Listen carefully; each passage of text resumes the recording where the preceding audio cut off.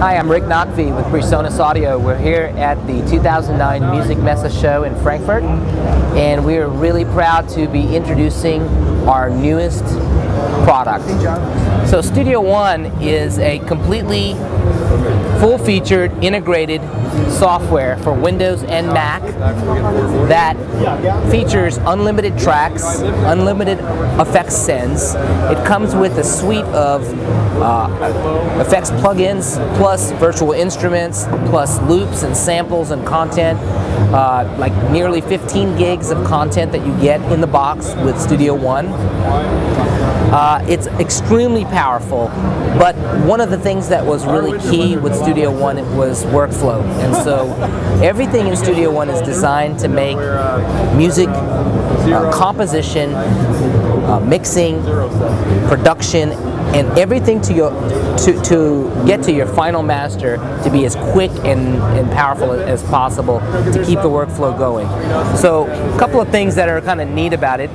Um, First of all, you can choose to work in a couple of different ways. This is sort of a, uh, a, single window view.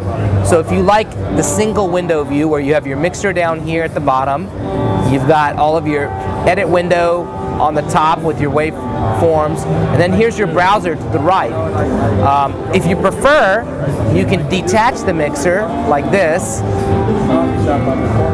and uh, and you can actually move it to a different screen if you like. And then there's also this large mode for the mixer that allows you to basically have a fuller view. And if you want to drag in plugins, it's great. You just hit the effects on the right side of the uh, browser, and let's say if I want to throw this beat delay on one of my uh, vocal tracks, I just grab this and literally just drag it over, and there it is. So I've got this really nice view right here with all of my plugins, and I can just basically drag and drop stuff over.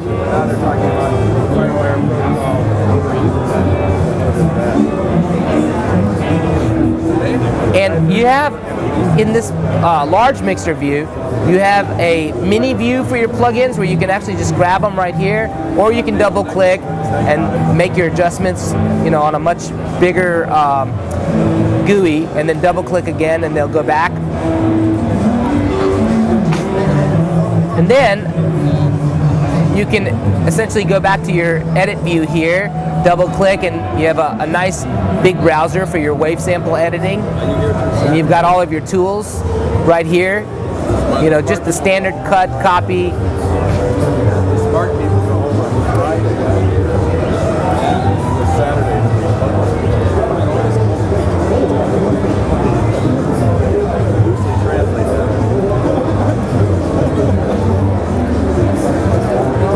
Stuff around. We've got auto crossfading.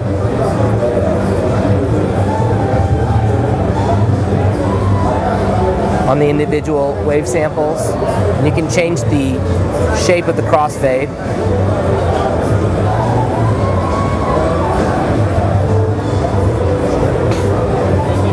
The other thing that's really great about Studio One is it has a complete mastering engine for after you've finished your songs and you want to master your entire project built in. So you don't have to leave Studio One and open up a separate mastering program. Basically, you just flip over to the project tab and when I hit project right here, here's my mastering section. There's my different wave samples. I can apply individual plugins to each one so I can throw in different plugins on each individual song.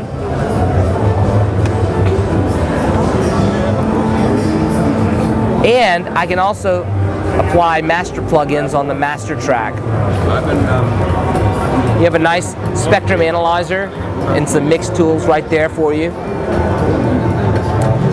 And you can just flip back and forth from, you know, song to song very, very easily without losing any of your workflow or your time. Um, the other thing that's really cool about this mastering is there's an update button. So at any point when I finish a song, I just hit update and it updates the mastering file. So I don't have to drag in the latest version of the mix uh, into my mastering uh, thing. So, it, you know, you get to the end of the session and the band says, hey, can you burn me a CD of the whole, you know, project? Well, this way you can just say, update, it'll update all the mixes and burn CD right there. It also will record Redbook compatible uh, right off the bat within uh, the mastering section. It also will write meta tags for all of your, uh, if you want to release an MP3 album, so basically all of your meta tags for when uh, it shows up on iTunes browser, all of your song information will be there. And uh, it's a completely 64-bit um, software.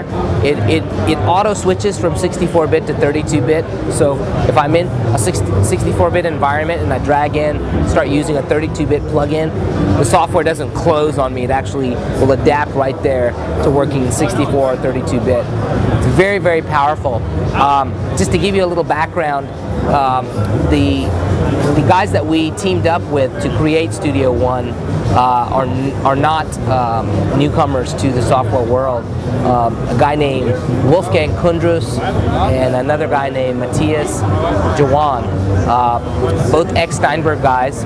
Um, Wolfgang actually created Nuendo for Steinberg back in the uh, you know early 2000s, and uh, Matthias was a software engineer at Steinberg. He worked on VST3. Um, these guys started uh, a company together, and uh, we met them three years ago. And this software has been in development for three years. And we teamed up with them and created uh, a new division of Presonus. It's called Presonus Software, which they are uh, running um, from uh, an office in Hamburg, Germany, is where their R&D office is, and uh, it's really great because all of our hardware and software is going to be totally integrated now. The other thing that's great is is that all of the Presonus hardware will be recognized by Studio One. All of your inputs and outputs are set up for you. The other thing is, is if you're using one of the Fire Studio family interfaces that has a DSP chip on the actual Fire Studio, right now, if you want to do a, a no latency mix, you have to basically open up our control panel and be able to adjust the mix uh, for each musician's headphone mix. Well, if you're using Studio One, let me show you how, how that's going to work. So you go over to the I.O. setup and see there's the Fire Studio, it sees it. I go to the outputs and let's say I want to set up you know, two headphone mixes for Rick and Ted, okay? So I'll go over here and I'll add two stereo mixes and I'll call this one Rick Mix and this one Whoops. Ted Mix. Okay. Then I click Cue Mix, and what it does